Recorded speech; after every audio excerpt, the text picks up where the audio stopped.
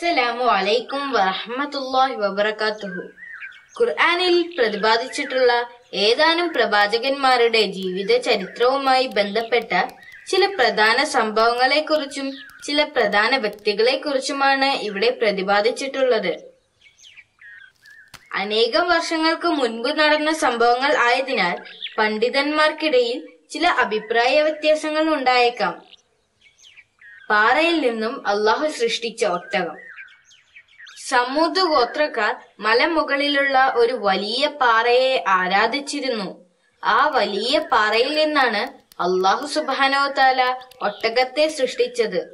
സമൂത് ഗോത്രക്കാർ കഠിനാധ്വാനികളും കരകൗശല വിദഗ്ധരുമായിരുന്നു. അവർ മലമുകളിൽ മനോഹരമായ കെട്ടിടങ്ങളും വീടുകളും നിർമ്മിച്ച് അവിടെ താമസിച്ചിരുന്നു. അവർ അള്ളാഹുവിനെ ആരാധിച്ചിരുന്നില്ല. അവർ പാറകളെയും വിഗ്രഹങ്ങളെയും ആരാധിച്ചിരുന്നു. അപ്പോഴാണ് സമൂത് ഗോത്രത്തിൽ നിന്നും ഒരു പ്രവാചകനെ അള്ളാഹു തിരഞ്ഞെടുത്തത്. അതായിരുന്നു സ്വാലിഹ് നബി അലൈസലാം ഒരു ദിവസം പതിവ് പോലെ സമൂത് ഗോത്രക്കാർ മലയുടെ മുകളിൽ ഒരു വലിയ പാറയ്ക്ക് ചുറ്റും കൂടി അവർ ആ പാറയെ ആരാധിച്ചു കൊണ്ടിരിക്കുകയായിരുന്നു. കുട്ടികൾ തങ്ങളുടെ പൂർവികരെ കണ്ട് അവരും ആ പാറയെ ആരാധിക്കാൻ തുടങ്ങി. അവർ ആ പാറയുടെ തൃപ്തിക്കും അനുഗ്രഹത്തിനും വേണ്ടി ആടുകളെ ബലി കൊടുത്തിരുന്നു.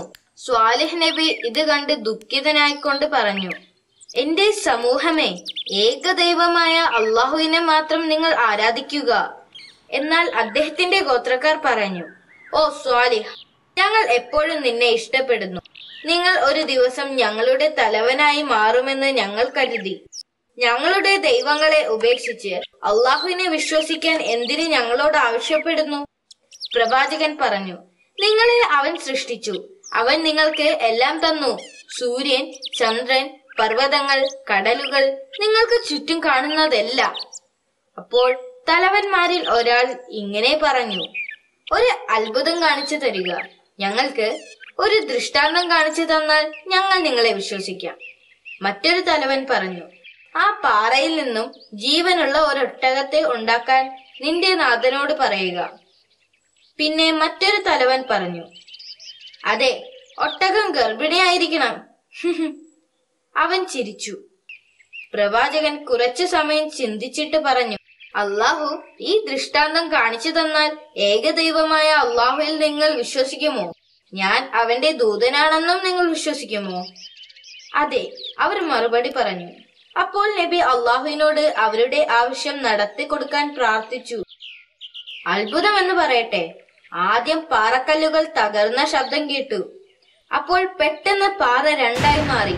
അവിടെ ഒരു സുന്ദരിയായ ഒട്ടകം പ്രത്യക്ഷപ്പെട്ടു. അത് വലുതും ഗർഭിണിയുമായിരുന്നു. ജനങ്ങൾ ഒട്ടകത്തെ കണ്ടപ്പോൾ ആശ്ചര്യപ്പെട്ടു. അവർക്ക് അവരുടെ കണ്ണുകളെ വിശ്വസിക്കാൻ കഴിഞ്ഞില്ല. ചിലർ കണ്ട കാര്യങ്ങൾ വിശ്വസിച്ചു. എന്നാൽ മറ്റു ചിലർ പ്രത്യേകിച്ച് സമ്പന്നരും ശക്തരും ഇത് മാജിക് ആണെന്ന് കരുതി. അള്ളാഹു തന്റെ മഹത്വം കൊണ്ട് ആ പാറയിൽ നിന്നും വരുത്തിയ ഒട്ടകത്തിന്റെ മുമ്പിൽ പ്രവാചകൻ സാഷ്ടാംഗം നമസ്കരിച്ചു. പലരും സാഷ്ടാംഗം നമസ്കരിച്ചു. അവർ അള്ളാഹുവിൽ വിശ്വസിച്ചു എന്ന് പറയുകയും ചെയ്തു. പ്രവാചകൻ പറഞ്ഞത് സത്യമാണ്. അവർ പറഞ്ഞു അള്ളാഹു യഥാർത്ഥ ദൈവമാണ്. ഇപ്പോൾ പോലും വിശ്വാസികളുടെ എണ്ണം വളരെ കുറവായിരുന്നു. മറ്റുള്ളവരുടെ മനസ്സ് ഇപ്പോഴും അള്ളാഹുവിൽ വിശ്വസിക്കാൻ തയ്യാറായില്ല. മൂന്ന് ദിവസം കഴിഞ്ഞ് ആ ഒട്ടകം സുന്ദരനായ ഒരു ആൺ ഒട്ടകത്തെ പ്രസവിച്ചു. ആ ഒട്ടകം എല്ലായ്പ്പോഴും അവന്റെ അമ്മയെ പിന്തുടർന്നു.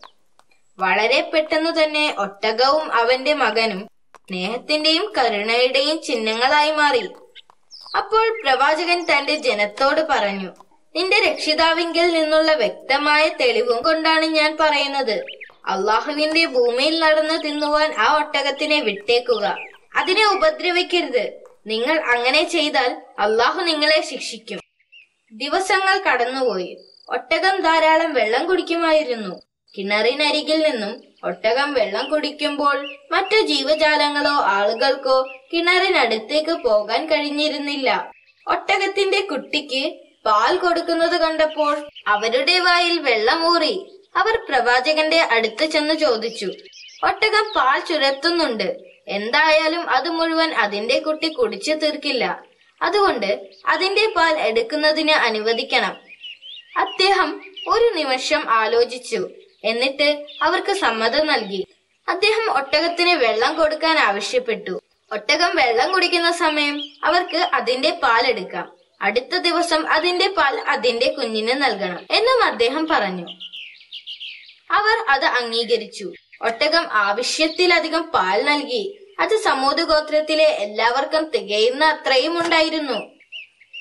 ആദ്യമൊക്കെ അവർ സന്തോഷത്തോടെ കഴിഞ്ഞു. എന്നാൽ പിന്നീട് അവിശ്വാസികളുടെ ശബ്ദം ഉയരാൻ തുടങ്ങി.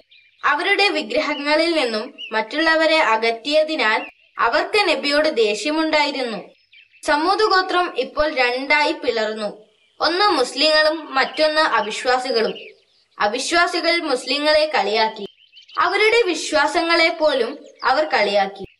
സ്വാലിഹ് നബി പറയുന്നത് സത്യമാണെന്നാണോ നിങ്ങൾ വിശ്വസിക്കുന്നത്? അതെ ഞങ്ങൾ അദ്ദേഹത്തിന്റെ സന്ദേശത്തിൽ വിശ്വസിക്കുന്നു. അള്ളാഹുവിൽ ഞങ്ങൾ വിശ്വസിക്കുകയും ചെയ്യുന്നു. വിശ്വാസികൾ പറഞ്ഞു. അവിശ്വാസികൾ അള്ളാഹുവിനെ പരസ്യമായി തള്ളിപ്പറഞ്ഞു. അവർ ധനവാന്മാരായിരുന്നു. പല പ്രമുഖന്മാരും നബിക്കെതിരെ തന്നെ ആയിരുന്നു പ്രവാചകൻ നിലനിന്നാൽ അത് നമ്മുടെ ദൈവങ്ങൾക്ക് ഭീഷണിയാകുമെന്ന് അവർ മനസ്സിലാക്കി. ഒരിക്കൽ അവരെല്ലാം കൂടി ചേർന്ന് എന്നിട്ട് ആ ഒട്ടകത്തെ കൊല്ലാൻ പദ്ധതിയിട്ടു. സമൂത് ഗോത്രത്തിലെ അഭിസാരണികളായ സ്ത്രീകളുടെ സഹായത്തോടുകൂടി ഒൻപത് മല്ലന്മാരെ ഒട്ടകത്തെയും കുഞ്ഞിനെയും കൊല്ലാൻ തയ്യാറാക്കി. അടുത്ത ദിവസം അവർ ഒട്ടകത്തെ നിരീക്ഷിക്കാൻ തുടങ്ങി. ഒരാൾ അതിന്റെ കാലിൽ അമ്പെയ്തു ഒട്ടകം കരയാനും ഓടാനും തുടങ്ങി. എന്നാൽ അമ്പ് അതിന്റെ കാലിൽ തറച്ചതിനാൽ അതിന് ഓടാൻ സാധിച്ചില്ല. മറ്റുള്ളവർ അതിനെ പിന്തുടർന്ന് അതിന്റെ മറ്റേ കാൽ വാളുകൊണ്ട് വെട്ടി. ആ ഒട്ടകം താഴെ വീണ് കരയാൻ തുടങ്ങി. അവർ തങ്ങളുടെ കയ്യിലുണ്ടായിരുന്ന ആയുധങ്ങൾ ഉപയോഗിച്ച് ആ സാധു മൃഗത്തെ കുത്തിക്കീറാൻ തുടങ്ങി. ഒടുവിൽ ഒട്ടകം മരിച്ചു. അതിനെ കൊന്നവർക്ക് വമ്പൻ സ്വീകരണം അവർ ഒരുക്കി. അവർ മദ്യവും പാട്ടും നൽകി. അവർ സന്തോഷം കൊണ്ട് തുള്ളിച്ചാടി. അവർ ഈ ദൗത്യത്തിൽ അള്ളാഹുവിനെ ജയിച്ചതായി കരുതി. മരിച്ചു കിടക്കുന്ന ഒട്ടകത്തെ കണ്ട് പ്രവാചകന്റെ ഹൃദയം തകർന്നു. അദ്ദേഹം വളരെ വിഷമത്തോടുകൂടി പറഞ്ഞു മൂന്ന് ദിവസം കൂടി നിങ്ങൾക്ക് സന്തോഷിക്കാം. കാരണം അള്ളാഹു നിങ്ങൾക്കുള്ള ശിക്ഷ അയക്കുന്നുണ്ട്. എന്തിനാ മൂന്ന് ദിവസമാക്കുന്ന? ഇപ്പോൾ തന്നെ അങ്ങ് തന്നൂടെ? അവർ പ്രവാചകനെ പരിഹസിച്ചുകൊണ്ട് ചോദിച്ചു. സ്വാലിഹ് നബി പറഞ്ഞ ശിക്ഷയുടെ നാൾ വന്നെത്തി. അവിശ്വാസികൾ പാറക്കല്ലുകൊണ്ടുണ്ടാക്കിയ ഭവനങ്ങളിൽ സുരക്ഷിതരായി ഇരിക്കുമെന്ന് പ്രതീക്ഷിച്ചിരുന്നു. പെട്ടെന്നൊരു ഇടിനാദം അവർ കേട്ടു. ഭൂമി കുലുക്കവും ഉണ്ടായി. ആ ഭൂമിയെല്ലാം എല്ലാവരെയും കൊല്ലും വിധം ഇളകിമറിഞ്ഞു. അവരുടെ ബലമുള്ള വീടുകളോ കല്ലുകൊണ്ടുള്ള സുരക്ഷിത സ്ഥാനങ്ങളോ അവരെ രക്ഷിച്ചില്ല. എന്താണ് സംഭവിക്കുന്നത് എന്ന് മനസ്സിലാക്കുന്നതിനു മുൻപ് തന്നെ അവരെല്ലാം കൊല്ലപ്പെട്ടു. സമൂതിലെ എല്ലാ മനുഷ്യരും കൊല്ലപ്പെട്ടിരുന്നു. എന്നാൽ വിശ്വാസികളെ മാത്രം അള്ളാഹു രക്ഷപ്പെടുത്തി. നിങ്ങൾക്ക് ഈ പ്രവാചക ചരിത്രം ഇഷ്ടപ്പെട്ടോ? ഇഷ്ടപ്പെട്ടെങ്കിൽ ഞങ്ങളുടെ ഈ ചാനൽ സബ്സ്ക്രൈബ് ചെയ്യാൻ മറക്കരുത്. നോട്ടിഫിക്കേഷൻ ബട്ടണും പ്രസ് ചെയ്യുക.